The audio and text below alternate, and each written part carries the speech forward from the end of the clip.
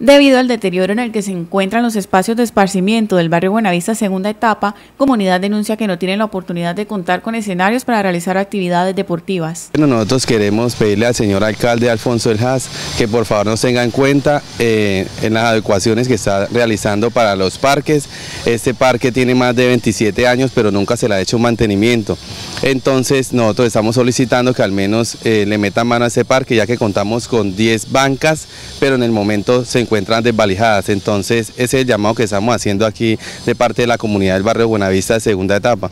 También tenemos una problemática con la polideportiva. La polideportiva se encuentra bastante abandonada y ya están desmantelando lo que son los portones de la polideportiva. Y el parque infantil que se encuentra al lado también se encuentra bastante deteriorado. La comunidad manifiesta que debido al mal estado de la zona infantil se han presentado emergencias con algunos niños.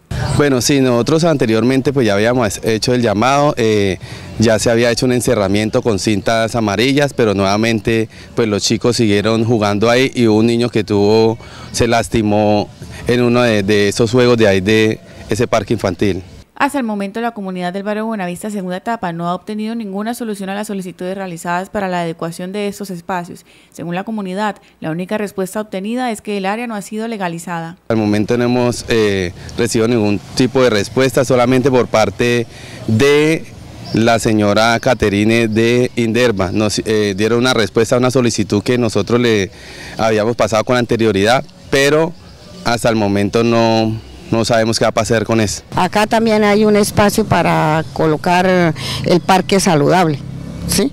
de los ejercicios y todo, pero como vuelvo y le digo, según nos dicen que este terreno no está legalizado. Los habitantes del barrio Buenavista segunda etapa manifiestan que el próximo año se cumplen 40 años de historia y quieren que estas celebraciones se hagan con espacios aptos para la recreación y el deporte de toda la comunidad, especialmente para los niños y los jóvenes.